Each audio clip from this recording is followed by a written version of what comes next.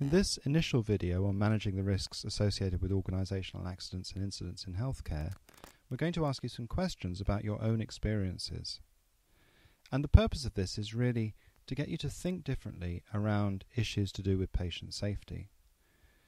Because fundamentally, what we're dealing with is a contested domain.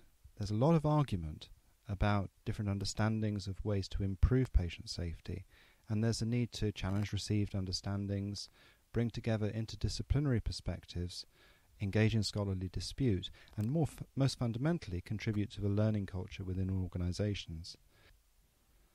And fundamentally, the topic is really to do with the complexity of organisations. And so, our first question is for you to think about how your organisation is complex.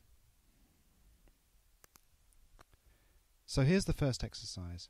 We want to you to describe the experience of someone performing your role in your institution. How do you think the complexity of your institution impacts on patient safety?